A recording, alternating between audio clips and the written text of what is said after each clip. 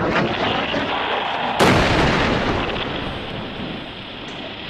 اكبر درع بلده التلفزيون قصف البراميل تتفجر على البلده الله اكبر الله